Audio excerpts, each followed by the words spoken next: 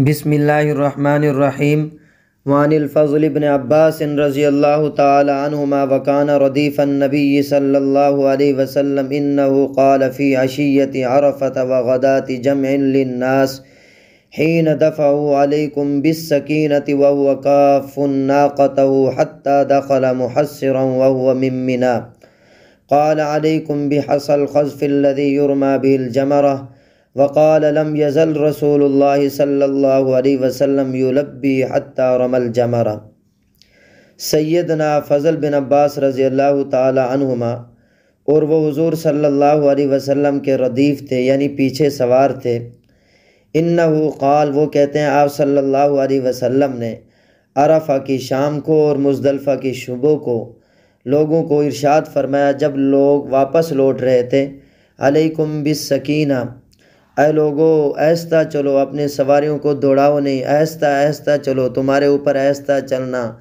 इत्मीनान के साथ चलना लाजिम है। वह वकाफ़ुन्नाक़त आप सल्लल्लाहु अलैहि वसल्लम अपनी ऊँटनी को हाँक रहे थे ऐसा चला रहे थे।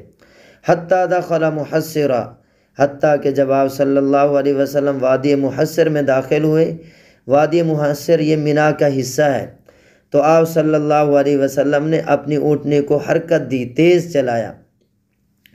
क़ाल अलैकुम बिहसल खज़फ़िल्लदी युरमा बिल जमरा। और जब मुजदलफ़ा से मीना की तरफ़ लौट रहे थे, रास्ते ही में आपने फरमाया, यहाँ से कंकरिया उठाना तुम्हारे ऊपर लाजिम है, जिसके ज़रिए तुमने जमरा जमरात की रमी करनी है। हज़रत फ़ज़ल बिन अब्बास रज़ी अल्लाह तुमा कहते हैं हुजूर सल्लल्लाहु अलैहि वसल्लम हमेशा तलबिया पढ़ते रहे। हत्ता रमल जमरल जमरा। जब आपने जमरा की रमी की तो उस वक्त आपने तलबिया पढ़ना छोड़ दिया। मेरे मोहतरम दोस्तों, आप सल्लल्लाहु अलैहि वसल्लम जब अराफा से मुजदलफ़ा की तरफ़ वापस हुए तो उस वक्त आप सल्लल्लाहु अलैहि वसल्लम के रदीफ़ हज़रत उसामा बिन जैद रज़ी अल्लाह तुमा थे। और जब मुजदलफ़ा से मीना की तरफ़ लौटे, उस वक्त आपके रदीफ़ हज़रत फ़ज़ल बिन अब्बास रज़ी अल्लाह तुमा ये दोनों हजरात फरमाते हैं, हुजूर सल्लल्लाहु अलैहि हमेशा तलबिया पढ़ते रहे। यानी लब्बैक अल्लाहुम्मा लब्बैक लब्बैक ला शरीक लक, लब्बैक इन्नल हम्द वन निअमत लक, वल मुल्क ला हत्ता रमा जमर अक़बा। जब अब आपने अकबा को कंकरी मारी तो उस वक्त आपने तलबिया कहना छोड़ दिया। मेरे मोहतरम दोस्तों, हदीस पाक में आता है, आप सल्लल्लाहु अलैहि वसल्लम अपनी कस्बा नामी ऊँटनी पर सवार थे हती के चलते चलते आप मशर हराम यानी मुजदलफ़ा पहुँचे। फ़स्तकबल क़िबलता क़िबला रुख हुए वदा। आप सल्लल्लाहु अलैहि वसल्लम ने दुआ की वकबर अल्लाह अकबर हल्ला वहदा। अल्लाह अकबर पढ़ा। हमेशा फ़लम यज़ल वाक़िफ़न हत्ता असफ़र जिद्दन। जब तक खूब रोशनी नहीं फैली, आप सल्लल्लाहु अलैहि वसल्लम खड़े रहे। फ़दफ़ा कबल अन तत्लशम्स सूरज तुलू होने से पहले आप सल्लल्लाहु अलैहि वसल्लम मुजदलफ़ा से लौटे। हत्ता अता बतना मुहसरिन वादी मुहसर में जब आप सल्लल्लाहु वसल्लम पहुँचे फ़हर का कलीलन ए नाक़तहु, अपनी ऊँटनी को हरकत दी और सहाबा को भी ये हुक्म दिया, तेज़ चलने का। तेज़ चलें और अभी रास्ते ही में थे तो आपने ये भी इरशाद फरमाया कि लोगों कि जी अपनी सवारियों को तेज़ मत चलाओ, ऐसा चलो, अलैकुम बिस सकीना ऐसा चलाओ। और आप सल्लल्लाहु अलैहि वसल्लम अपनी ऊँटनी को ऐसा ऐसा चला रहे थे, हाँक रहे थे। और फरमाया कि यहाँ से मुजदलफ़ा से मीना की तरफ़ रास्ते ही में फरमाया कि यहाँ से कंकरियाँ भी उठा लो, जिसके ज़रिए से तुमने आगे जाकर जमारात की रमी करनी है। और वादी मुहसर में आपने अपनी ऊँटनी को तेज़ चलाया। तो जब वादी मुहसर में पहुँचें तो ये दुआ पढ़ें। अल्लाहुम्मला तक़तुलना बिग़ज़बिका वला तुहलिकना बिआदाबिका वाफ़िना कबल दालिक फिर उसके बाद, जी, आगे जाकर जमरा अकबा है। पहले दिन जमरा अकबा की रमी करनी है। बाकी दिनों में तीनों जमारात की रमी करनी है। अब रास्ते ही से सत्तर कंकरियाँ उठा लें। सात पहले दिन के लिए और तिरसठ बाकी दिनों के लिए। अब जब रमी करने के लिए जाना है जमारा अकबा को तो बतने वादी से जाएँ। बतने वादी से जाएँ और वहाँ जाकर जी, कंकरियाँ मारें। कंकरियाँ सात हों, मकदार में सात होनी चाहिए और जसामत के अतबार से खजफन, चने के दाने के बराबर हों या गुठली के बराबर या जी, उंगली के पोरे के बराबर उनकी जसामत हो। वकब्बरा बिकुल्लिन, जब भी कंकरी मारें, अल्लाह अकबर पढ़ें, वक़ता तलबियत बी अव्वलिया अव्वल कंकरे मारते हुए तलबिया मुनक़ कर दें।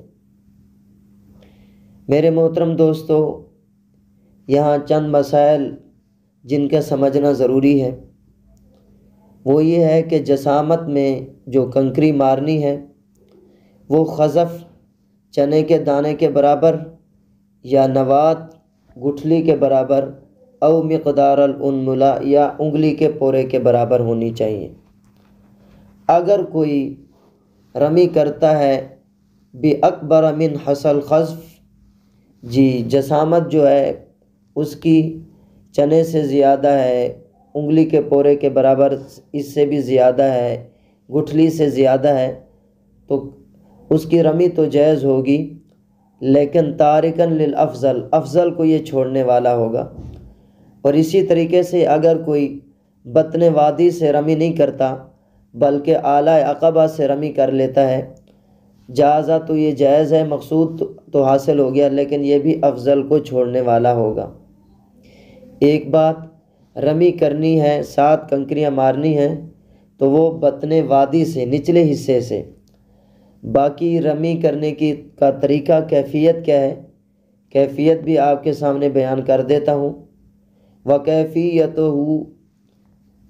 व कैफियत अन यज़ाल हसयात अला ज़ुफ़ुर इबहामिलयमना व यस्तीन तरीका ये है कि कंकरी को अपने दाएँ अंगूठे के नाखून पर रखे और मुसबिहा की मदद से कंकरी मारे। ये इसका तरीका है। और दूसरा मसला ये है कि फ़ासला कितना होना चाहिए रामी के दरमियान और अकबा के दरमियान, जहाँ उसकी कंकरी जाकर गिरेगी। तो फ़ासला जो है, खमसा तो अजरन पाँच ज़रा का फ़ासला होना चाहिए। अब जब उसने कंकरी जो मारी है, अगर वो मनारों के पर पास गिरी है, अकबा के पास गिरी है, जाजा तो ये जायज़ है। वक़ात बैद ला और अगर वो कंकरी दूर जाकर गिरती है तो फिर दोबारा उसको कंकरी मारनी पड़ेगी। ये दुरुस्त नहीं हुई है कंकरी उसके लिए जायज़ नहीं है, दोबारा से मारे कंकरी। करीब और मकदार की क्या? करीब कौन सा समझा जाएगा? बैद कौन सा? इसकी मकदार क्या है? वक़द्रकरीब सलासा तो अज़रन वलबैद माफ़ा जी, अगर वो तीन ज़रा के करीब गिरी है, जमा राखे मनारों के तो वो जायज़ किफ़ायत कर जाएगी। अगर तीन ज़रा से दूर जाकर गिरी है तो फिर दोबारा इसको कंकरी मारनी पड़ेगी। और इसी तरीके से कंकरियाँ, जैसा कि हदीस पाक में बयान फरमाया कि रास्ते ही से उठा लेनी चाहिए। लेकिन अगर कोई रास्ते से नहीं उठाता, बल्कि जो जमरा के पास कंकरियाँ पड़ी हैं, वहाँ से उठाकर जमर रमी कर लेता है तो ये भी जायज़ है, क्योंकि इससे सिफत हाजिर तो तब्दील नहीं हुई ना। अगर एक ने कंकरी मार ली है, अब वो दूसरा कोई उठा लेता है तो वो दोबारा वही कंकरी ही है। उसकी सिफत में कोई तगैर व तबदल नहीं हुआ। वह आसा, लेकिन इसने ये इसने ये अच्छा नहीं किया। ये पसंदीदा नहीं है। पसंदीदा जी यही है, जब मुजदलफ़ा से मीना की तरफ़ लौट रहे हो तो रास्ते ही से कंकरियाँ उठाएँ। वहाँ से कंकरी क्यों नहीं उठानी चाहिए। इस वजह से ली अन्नमा इंदहा हसा मल्लम युकबल हज्जू वहाँ जो कंकरियाँ पड़ी हैं, ये उन लोगों की कंकरियाँ हैं, जिनका हज कबूल नहीं हुआ।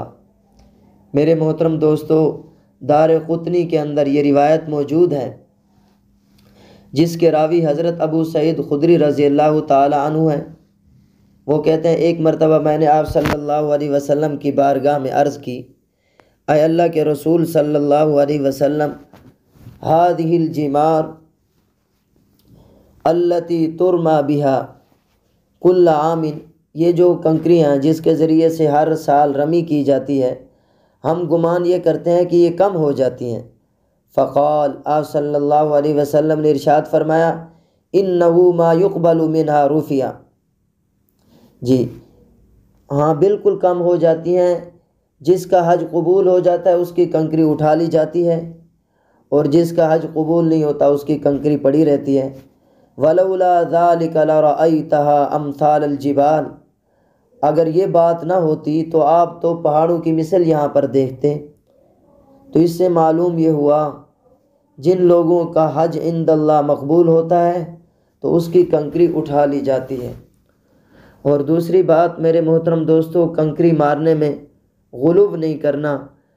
कंकरी की जसामत जी, वो चने के दाने के बराबर, गुठली के बराबर या उंगली के पोरे के बराबर हो। आप सल्लल्लाहु अलैहि वसल्लम ने फरमाया वईयाकुम वल गुलू वफ़िद्दीन अपने आप को दीन के अंदर गुलू करने से बचाओ। फ़िन्नमा हलक मन कान कबलकुम बिलगलू फ़िद्दीन तुमसे पहले जो लोग हलाक हुए हैं, वो गुलूब फ़िद्दीन की वजह से हलाक हुए तो गुलूब नहीं करना चाहिए जी।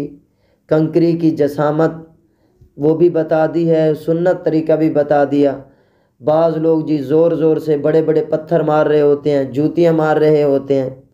ये गुलूब है, गुलूब फिद्दीन पसंदीदा नहीं है। और जो रमी हो, वो ज़मीन की जिन से हो, मत मतलब पत्थर हों, ढीले हों, ये हों। लेकिन अगर कोई जी सोने के ज़रिए से, चांदी के ज़रिए से रमी कर लेता है सोने का सिक्का फेंक दिया, चांदी का सिक्का फेंक दिया। या सोना है, चांदी है, उनकी जी मकदार उस जसामत जो है, वो चने के दाने के बराबर है। या उसकी रमी शुमार नहीं होगी। इसको असर नौ, फिर रमी करनी पड़ेगी। और इसी तरीके से जब जमर अकबा की रमी कर लें तो दुआ के लिए वहाँ न ठहरें। हज़रत इबन उमर रज़ी अल्लाह तहुमा रावी हैं। वो फरमाते हैं अन्नू कान यरमी जमर अलाक़बा तमिम बतनवादी वला यक़िफ़ इंदहा वयन शरीफ़ व यकूल हा कदा रईतुलनबी सल्लल्लाहु अलैहि वसल्लम यफ़ालू रवाहुल बुखारी हज़रत इब्ने उमर रज़ी अल्लाह तहुमा का मामूल ये था कि वो जमर अकबा की रमी बतन वादी से करते थे, वादी के निचले हिस्से से करते थे और जमर अकबा के पास दुआ के लिए नहीं ठहरते थे। और फरमाते, इसी तरह मैंने नबी करीम सल्लल्लाहु अलैहि वसल्लम को करते हुए देखा है। तो जमर अकबा की रमी करते हुए, जब रमी से फारग हो जाएँ तो वहाँ दुआ के लिए न ठहरें, बल्कि वहाँ पर चल पड़ें।